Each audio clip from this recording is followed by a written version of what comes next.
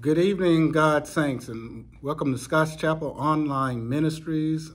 I am your host, Pastor Fred Jenkins, and we want to get into tonight's lesson of what we believe in, dealing with looking at the Apostles' Creed and understanding our belief.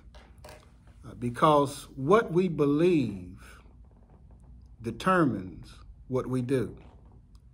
What we believe determines how we behave. So our beliefs are essential. What we believe affects how we live from day to day and where we'll go in the future and how it will be in the future. So it's important to get an understanding uh, the Bible talks about to feed on pure spiritual milk, which is the Word of God. So I'm going to try and give you some of what the Word says, and we'll just have a just general overall discussion so we be mindful and put on the mind of Christ of what it is that we believe. Because again, it dictates what we do. Now, a summary of our belief system can be found in the Apostles' Creed. The Apostles' Creed is not in the Bible. It was not written by the apostles, but every element of the creed is found in the Bible. We do not know who wrote it, but we still say the creed because it is an excellent summary of what it is that we believe. We'll look at one uh, particular passages of scripture, which is in uh, 1 Corinthians chapter 15. And we'll probably read verses 1 through 11. And then we'll get into tonight's lesson.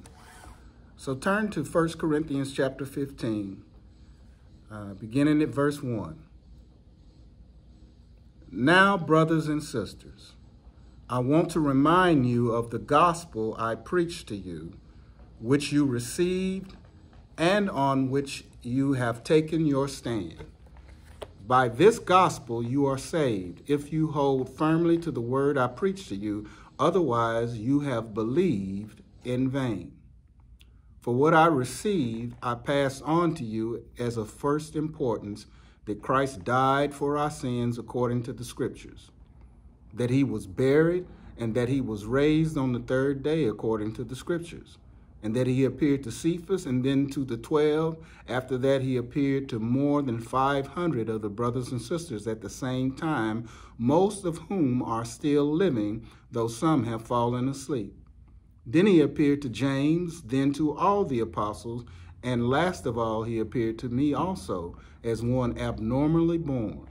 For I am the least of the apostles, and do not even deserve to be called an apostle, because I persecuted the church of God. But by the grace of God, I am what I am. And his grace to me was not without effect. No, I worked harder than all of them, yet not I, but the grace of God that was with me. Whether then it is I or they, this is what we preach, and this is what you believe. So Paul was concerned of what it is.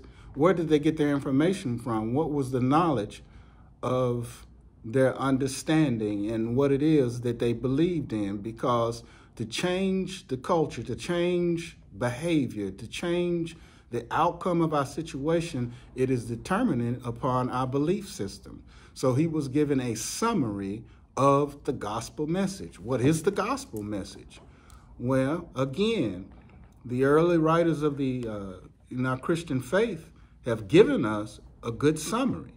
And that summary is the Apostles' Creed.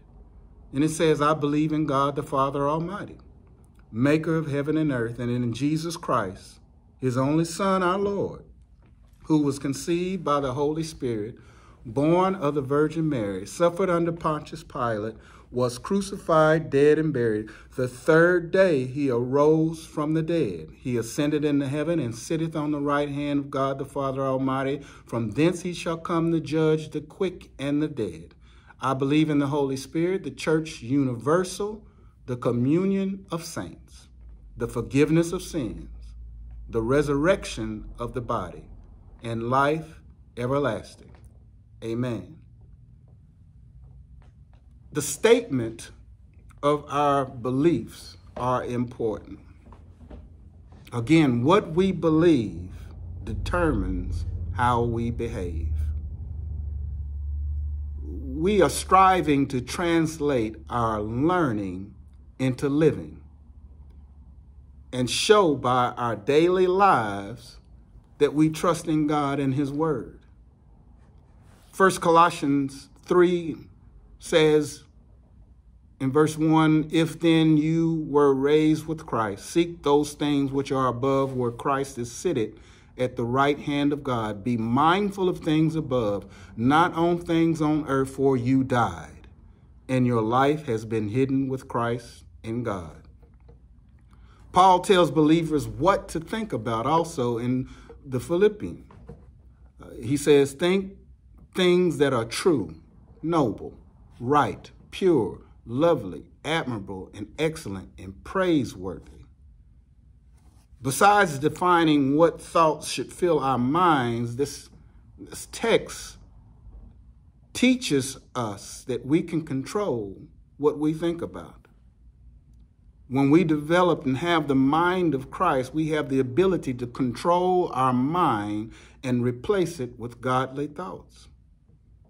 In our spiritual warfare, taking control of our thoughts is essential because the devil will come at you with all kinds of uh, nonsense, untruths, lies, and deceptions to get you from your purpose in God. To get to your purpose, you have to have the knowledge. You have to have the understanding and the vision that that knowledge brings. So it is essential. And that's why Proverbs 4 and 23 says, above all else, guard your heart for it is the wellspring of life. So, focusing on and trusting in God's grace has to do with what we believe. Peter writes, Therefore, prepare your minds for action. Be self controlled. Set your hope fully on the grace to be given when Jesus Christ is revealed. That's first, first Peter chapter 1, verse 13. See, we act a certain way because we think a certain way. That's why Paul wrote to the Roman church in chapter 12 and do not be conformed to this world, but be transformed by the renewing of your mind in order to prove by you what is good and pleasing and perfect will of God. Our goal in sanctification and our growth in Christ is to grow and think like God thinks, being led by his spirit and conformed to the image of his son. So the more we learn and reprogram our mind to think God's thoughts, the more into the likeness of Christ we become uh, and effective in living in the present. What is it that you believe in? Do you affirm the scripture's record of the person and work of Jesus Christ? For the gospel is simply about Jesus. The Bible is about Jesus. He is the gospel message. That is the summary of our belief. Do you believe that God saves sinners solely on the merits of Jesus Christ? Obedient life and his substitutionary death on the cross. When we read in the letter to the Ephesians in chapter 2, verses 8 and 9, for by grace you have been saved through faith. This is not your own doing, it is the gift of God, and not the results of works, so that no one may boast. This incredible gift of grace flows from God's great love for us and is offered through Jesus Christ. And when I believe and understand, this starts to feed my spirit to produce the works, to produce the result of my belief. So, John wrote the Apostle John in chapter 3. For God so loved the world that he gave his only begotten Son, that whosoever believeth in him shall not perish, but have everlasting life. The love we receive is not dependent on human actions or human responses. It is a gift. A gift is always available, but it can be refused. Paul wrote, But God proved his love for us in that while we were still sinners, Christ died for us. All of this is just a summary of the Apostles' Creed. That when we come to an understanding, see, our salvation is not static. It is not a one time event that we were saved back whenever and then nothing changes and nothing, everything goes the same or everything is going to be all right. No. We grow through the knowledge of Him that called us. And through that knowledge, it produces a belief or trust in Him. And when that belief and trust grows, it produces the fruits of righteousness. What we believe determines how we behave. So the Apostles' Creed, in its simplicity, I believe in God the Father Almighty, maker of heaven and earth. The summary of our belief, the substance of our belief, is the Word of God. We must believe, and the statement is all of this is from the Word of God. And if I don't believe the Word of God, if I don't believe that it is inerrant, God breathed and complete and final authority for faith and for life, then it is for nothing. It starts with the belief that God's Word is true. Secondly, it testifies to the deity and idea of God. That God is real. That there is one God, creator of all, who reveals himself in three distinct persons the Father, the Son, and the Holy Spirit. Yet is one being in essence and in glory that God is eternal. Before there was a what, when, or where, before there were even time, God was and has always been. And he is sovereign, he is eternal, he is infinite, he is omniscient, he is omnipresent, he is omnipotent, all powerful, and unchanging, and holy. He is righteous and he is the fulfillment of love and he is truth. You want to know what truth is? Truth is a person, God. I believe in God the Father Almighty, maker of heaven and earth, and in Jesus Christ, his only Son, our Lord. Hmm. We believe in the deity of Jesus Christ that he is God incarnate or God manifested in flesh.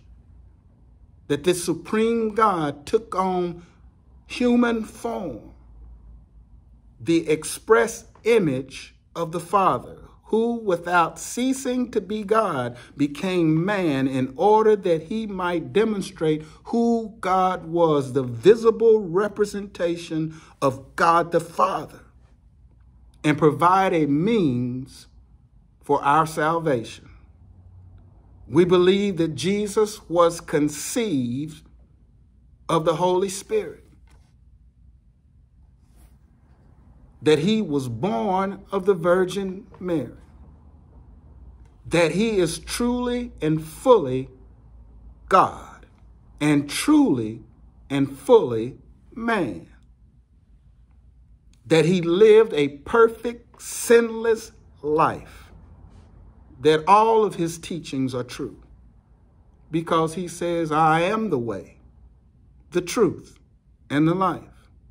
No one comes to the Father except by me. We believe that Jesus died on the cross for all humanity as a substitutionary sacrifice. And we believe and hold that his death is sufficient to provide salvation for all who receive him as Savior. For If the Lord is not your Savior, if he is not Lord, then you are in a world of trouble. He says, I am the way. I am the truth and I am the life. His death is sufficient to provide all salvation to who receives him. That our justification is grounded in the shedding of his blood. He took the sacrifice. He took the punishment for our sins. We believe that Jesus ascended also into heaven in his glorified body and is now seated at the right hand of authority as our high priest, as our advocate, as our Savior. And we believe that he is coming again. We believe in the Holy Spirit, the third person of the Trinity, or the third person of the Godhead that he is God and that he is sent by Jesus Christ to live and dwell and regenerate sinners, to call us to salvation. That he is the seal by whom the Father guarantees our salvation until the day of redemption. See, if you are a believer, you have the Holy Spirit of God living in you. Where is God? He's right there. He's with you. He says, I'll be with you always, even until the end of the age. We believe that the Holy Spirit is ultimately sovereign in the distribution of God's gift. You don't produce the fruit. The Holy Spirit does. He produces it in you and through you. We also believe that salvation is a gift of God's grace through faith in the finished work of Jesus on the cross. That Christ's death fully accomplished justification through faith and redemption from sin. And justification is just if I've never sinned. That's what we believe. And that he bore my sins and your sins on the cross. And on the third day, as he said, I will rise. And he rose again, demonstrating his victory over sin on the cross and death when he rose. We believe that salvation is received by grace alone, through faith alone, in Christ alone. There is no salvation in anyone else or anything else. It is through Jesus that we are saved. This statements also reveal that we believe that humanity came into ex existence. You are here because you were created by God and made in his likeness. We believe that all humanity, because of Adam's fall, inherited a sin nature. And we believe that all human beings choose to sin. God made you a free moral agent. You can choose to do whatever you want to. You can choose to love him. He's not going to force you to love him. Christianity is not some cult. It's not some things that we force somebody to do it. You can do whatever you want to do. But here's the truth. And the truth shall set you free. The truth of what we believe brings freedom. So if you're bound, if if you're struggling right now, what is it that you believe in. Hmm. Isn't this wonderful?